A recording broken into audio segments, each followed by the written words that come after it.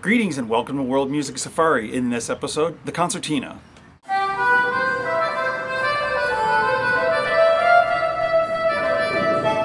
So I alluded to doing a djembe episode. However, the audio didn't come out good, and I want to do it justice because the gentleman whose djembe was being played and demonstrated was overrun by bad audio. So I, I want to save that for another video. So today we're doing the concertina.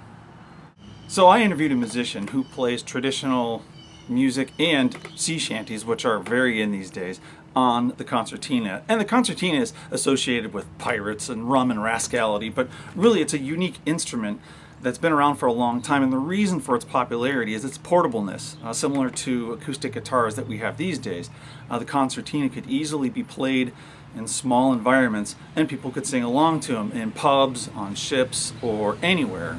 However, the uniqueness of the concertina is that when you're squeezing in, it's one note, but as you're going this direction, that note changes. So there's two different notes for each button on the concertina. Unlike an accordion, where when you play the little miniature, it looks like a miniature keyboard on the side, that note stays the same no matter what direction the bellows are going. The concertina is not like that. So in this episode, we're going to interview a musician whose name is Jen, and he plays traditional music on the concertina.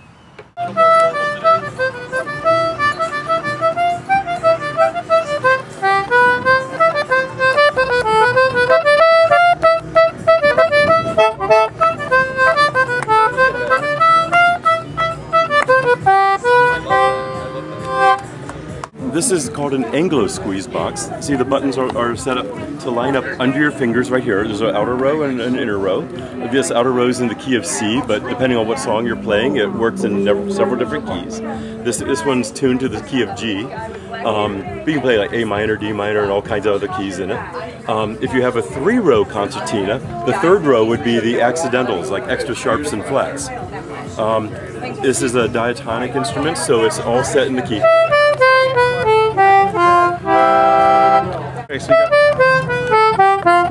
It continues from one side to the other. Um, picture is like a very large harmonica that's split in two, so that there's half the harmonicas on one side of the instrument, the other half's over here.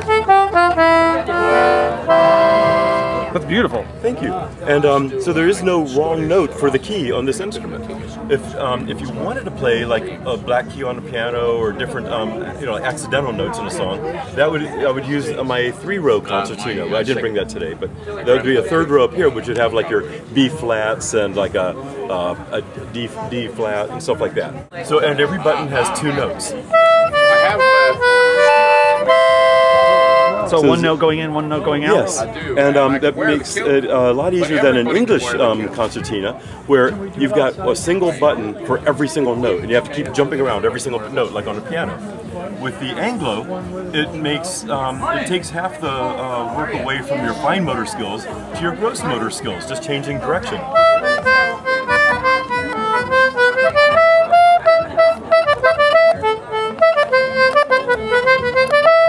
Changing buttons about half the time.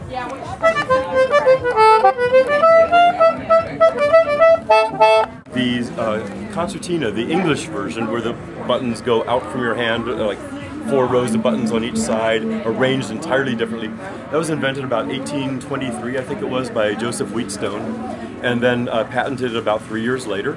And then about 50 years later, 60 years later, the Germans got hold of it and said, hey, let's rearrange it like this, more like a harmonica. It makes it a lot easier to play a whole bunch of our tunes.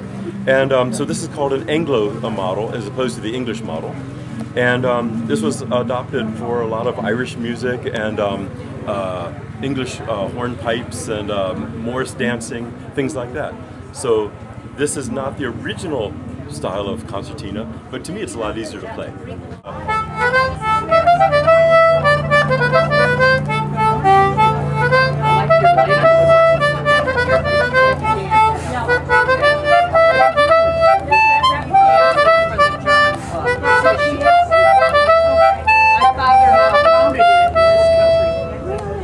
Alright, that's it for this episode of World Music Safari. If you have any comments or questions, leave them below and I'll see if I can get to them. Or if you have a question for Jen, by all means, ask and I'll get an answer through him.